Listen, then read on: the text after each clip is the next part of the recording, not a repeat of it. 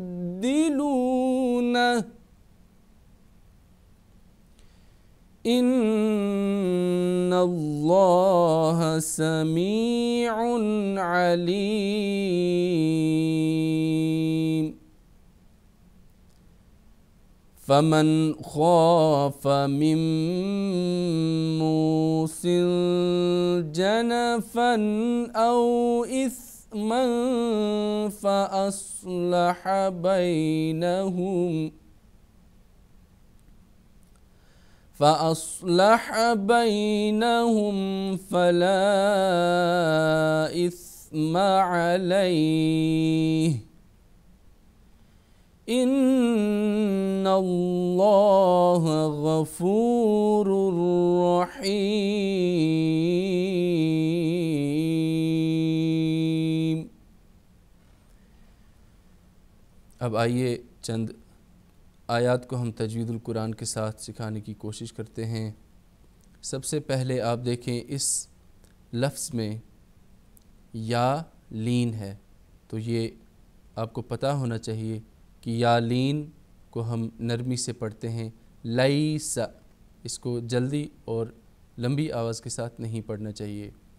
लई सल बिर रॉ मफतू, यानि फ़तह है तो ये पुर होगा। नून साकिन और तनवीन के बाद कल आपको एक कायदा सिखाया था। नून साकिन और तनवीन के बाद हरूफ हल्की, हर्फ बा और हरूफ यरमलून के अलावा कोई भी लफ्ज़ आए तो नून साकिन और तनवीन पर इख्फ़ा होगा, यानी इख्फ़ा के साथ वो पढ़ा जाएगा। तो ता जो है, ये हरूफ इख्फ़ा में से है। अन एक अलिफ की मकदार हम रखेंगे। तो इसको अगर हम अन पढ़ेंगे तो ये इजहार के कायदे में आगे जो कि दुरुस्त नहीं है। अन वाव को हमने होठों की गोलाई से अदा किया। इसी तरह से वाव मद्दा का कायदा यहाँ पर है। वाव साकिन से पहले ज़मा है तो ये वाव मद्दा है। मद की तरह इसको लंबा पढ़ेंगे एक अलिफ। वाव, जो खाली वाव है, ये होठों की गोलाई से अदा होगा। यहाँ पर जू में जो है वाव मद्दा है।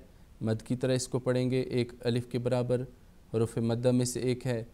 इसी तरह से मीम साकिन का इजहार होगा। वज़ू हकुम वज़ू हकुम क़बाला। इस मीम साकिन पर नहीं रुकना चाहिए। कई जो हैं वो इस पर रुकते हैं जो कि दुरुस्त नहीं है। मीम साकिन के बाद अगर मीम मुशद्दद और इसी तरह से बा लफ्ज़ आए तो वहाँ पर मीम साकिन पे रुकना चाहिए। तो क़ौफ़ को हम पूर करके अदा करेंगे। क़ौफ़ इसी तरह से यहाँ पर शीन में हम कोशिश करें कि जुम्बिश की आवाज़ नहीं आनी चाहिए, वरना कलकला की आवाज़ आए आएगी। रॉ जो है यहाँ पर कैसे? क़बल मशरी मशरी, न कि मश की आवाज़ नहीं आनी चाहिए। रॉ जो है ये बारीक होगा क्योंकि कसरा है। क़ौफ़ पुर होगा। वल, वाव होटू की गुलाई से। वल मगरब, ये रॉ जो है ये बारीक होगा। और जो गैन है, ये जो है ये हम हलक से पढ़ेंगे और यहाँ भी जुम्बिश की आवाज़ नहीं आनी चाहिए। वल मगरब तो गैन की जो आवाज़ है, ये मीम के बाद गैन की आवाज़ हलक की तरफ़ जानी चाहिए और जुम्बिश नहीं आनी चाहिए। वल मगरबी वलाकिन वाव होट की गुलाई से फिर ये फ़तह इशबाइया, यानि अलिफ मद का कायम मकाम, खड़ा ज़बर जिसको हम कहते हैं, नून मुशद्दद, यहाँ पर गुन्ना होगा। नून मुशद्दद और मी मुशद्दद हरूफ गुन्ना है तो गुन्ना होगा, आवाज़ नाक में रखेंगे, एक अलिफ की मकदार के बराबर। वला किन्नल बिर रा मफतू है तो रा जो है ये पुर होगा। मन आमना, नून साकिन और तनवीन के बाद अगर हरूफ हल्की में से कोई लफ्ज़ आए तो नून साकिन और तनवीन का इजहार होगा। तो मन आमना पढ़ेंगे, नून पर नहीं आवाज़ रुकेगी, क्योंकि ये हमज़ा है अलिफ़ के ऊपर फ़तह इशबाइया है तो ये हमज़ा बन गया, अलिफ़ नहीं, अलिफ़ हमेशा खाली होता है। आमना बिल्लाही, अल्लाह का जो कायदा है, अल्लाह के लाम का, वो लाम मुशद जो बीच में है इससे पहले वाले हरकत को देखेंगे तो जो कसरा है, कसरा की वजह से बिल्लाही बारीक होगा ला, लाम, बिल्लाही पुर नहीं पढ़ेंगे। पुर अगर पढ़ेंगे तो दुरुस्त नहीं होगा। वल यौमिल वाव होटो की गुलाई से फिर और वाव साकिन से पहले फ़तह तो वाव लीन में ये कायदा आएगा। वल यऊ, थोड़ा सा गोल हम पढ़ेंगे इसको नरमी के साथ। यऊ मिल आखिरी, फिर फ़तह इशबाइया, अलिफ़ के ऊपर अलिफ मद्दा का कायम मकाम है। तो ख़ा जो है, इसको हम पुर करके पढ़ेंगे। आखिरी, रा जो है, ये बारीक पढ़ेंगे क्योंकि कसरा है। वल वाह की गोलाई से फिर मला ये बड़ी मद है, यानी मद मुतसिल इसको हम चार पाँच हरकत के बराबर इसको हम लंबा कर सकते हैं। तो यहाँ पर मलाइकती वल किताबी तो कई यहाँ पर जो पढ़ने वाले हैं, इसको हम ती भी कई पढ़ते हैं, जो कि दुरुस्त नहीं है। ये जो जो ता है, इसके नीचे कसरा है और वाव के ऊपर फ़तह है। इसके बीच में बिल्कुल आवाज़ ढीली नहीं छोड़नी चाहिए। वल मलाइकती वल, इकती वल। तो कई वल मलाइकती पढ़ते हैं जो कि मद में चला जाता है, दुरुस्त नहीं है। ऐसे ही वाव को होटो की गुलाई से पढ़ें। वल किताबी, फिर फ़तह इशबाइया। वन नबीन नून मुशद गुन्ना होगा, वाव, फिर होटो की गुलाई से अदा होगा। वन नबीन ये होटो की गुलाई से क्यों कहते हैं? कई इसको वन नबीन पढ़ते हैं, जो कि दुरुस्त नहीं है। वन वन नबीन फिर कसरा इशबाइया आ गया, और यहाँ पर हमने इसको खींचना है। और अगर हम इस पर वक्फ़ करेंगे तो इसको मज़ीद हम आवाज़ को लंबी कर सकते हैं, जो कि मध्य आरज वक्फ़ी के कायदे में ये यहाँ पर उसके अहकाम में आ जाएगा।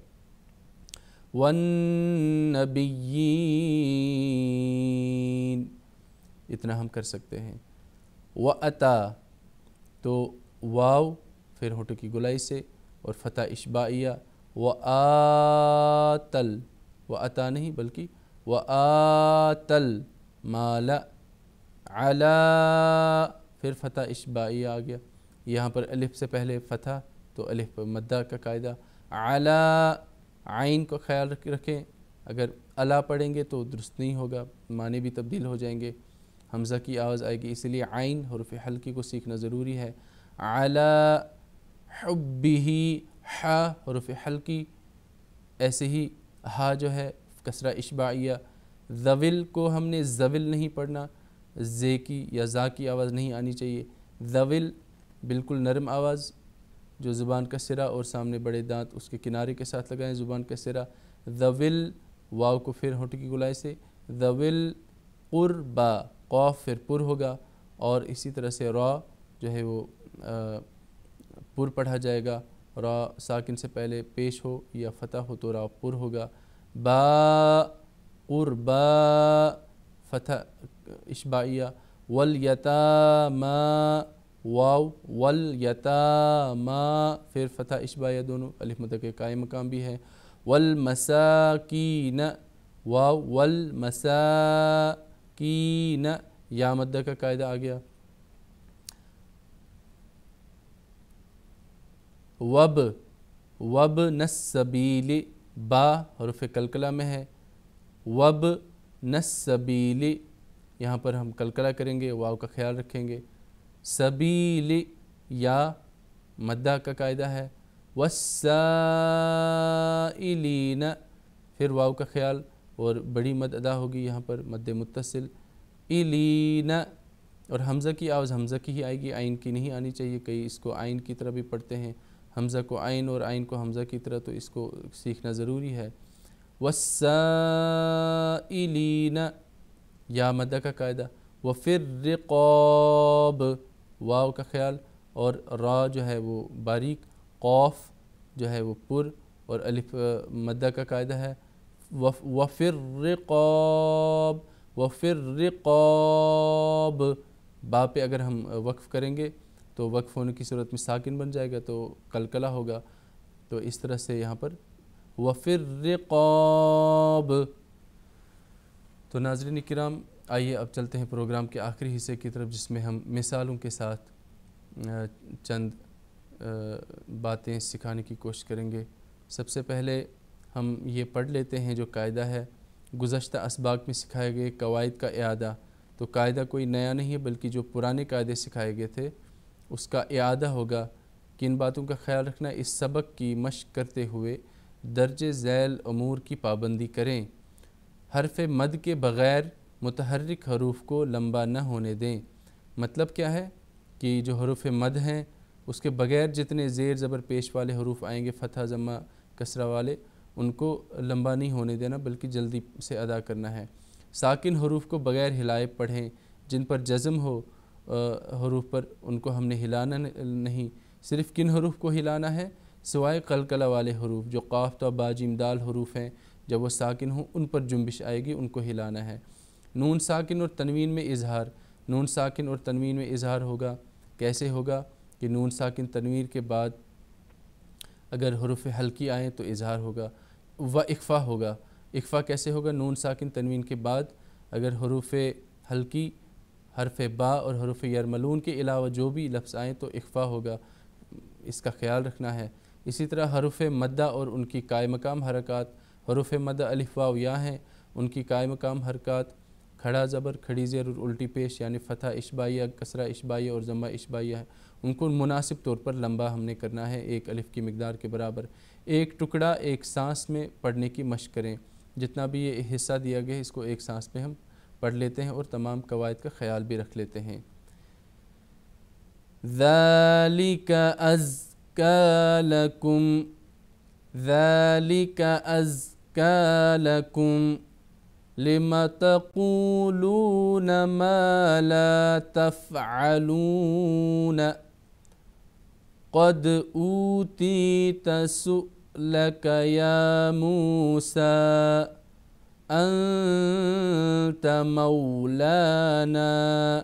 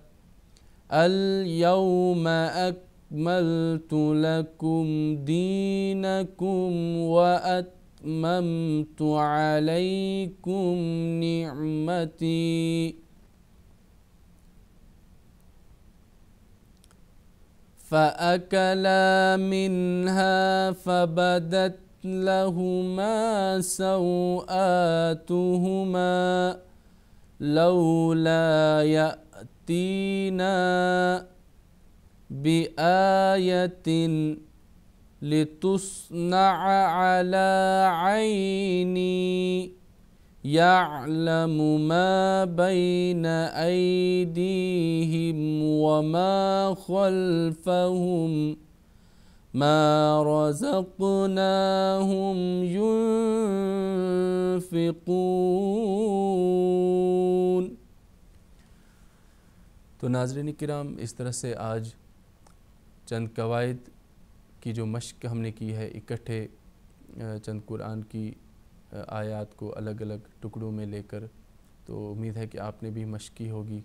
तो आज इस प्रोग्राम का वक्त अब ख़त्म हो गया है। इन ताला कल एक और प्रोग्राम के साथ आपकी खिदमत में हाज़िर होंगे। तब तक के लिए दीजिए इजाज़त। अस्सलाम वालेकुम वरहमतुल्लाहि वबरकातुहू।